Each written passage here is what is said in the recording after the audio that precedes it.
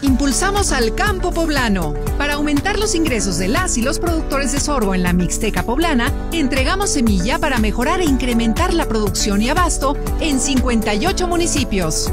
La estrategia incluye asesoría técnica por parte de la Secretaría de Desarrollo Rural y la inversión de 65 millones de pesos. Trabajamos para seguir posicionando a Puebla como líder agroalimentario. Gobierno de Puebla. Gobierno presente.